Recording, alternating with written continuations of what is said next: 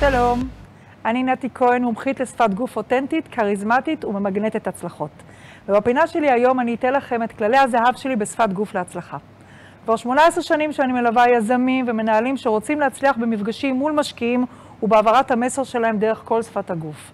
וכשאנו רוצים שיבינו אותנו ושירצו לשתף איתנו פעולה, בין אם זה בפיץ' בגיוס כסף מול משקיעים, או בין אם זה בלזכות בצ'ק בדמו דיי, או אם זה בפינטק מול מנהלי המחלקות החדשנות בבנק, כדי לשכנע אותם לשלב את המוצר שלכם באתר הבנק שלו.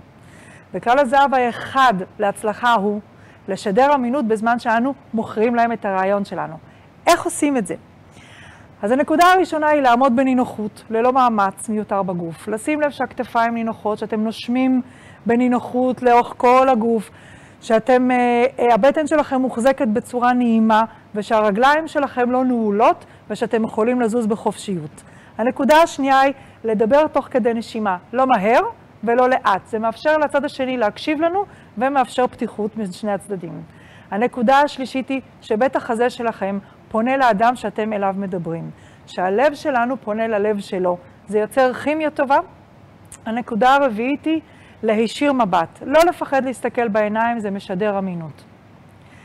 זה לכוון את כל הגוף למטרה כמו טיל.